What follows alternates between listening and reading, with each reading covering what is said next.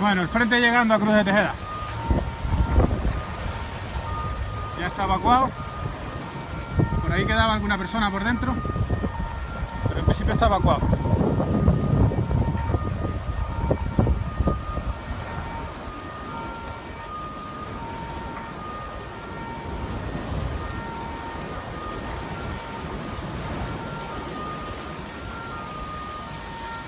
Bien, viene bastante fuerte y me temo que aquí vamos a tener algunas pérdidas.